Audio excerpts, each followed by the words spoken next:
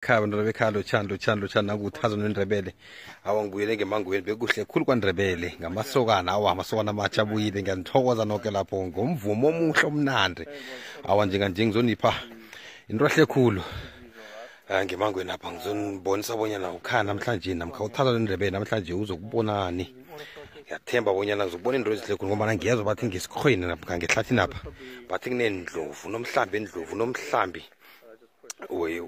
wenyathi bizwa ukuthi ma-buffalos bizwa amanyathi right? Or inyathi yinjalo inkomo zomango ngikhuluma ngazo.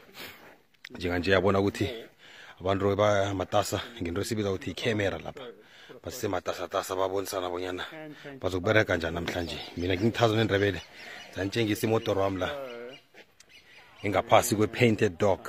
Tv namkho ngathi painted dog tv fully zoomed out. kuyibone bonyana yihle kangangani Just that small movement. khamba madoda awa sing- singama- singemangweni singamangweni singam- singam- siyangemangweni siyangemangweni siyangemangweni umntwana bekhaya cala bonyana kuhle kangangani It's only about 20 degrees that I throw this thing.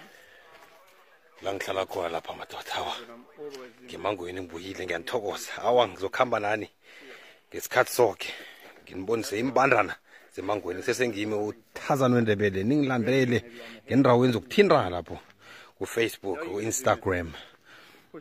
Konke ngikukhaya tlow sana kwendrebela wangesiyabuswe epumalanga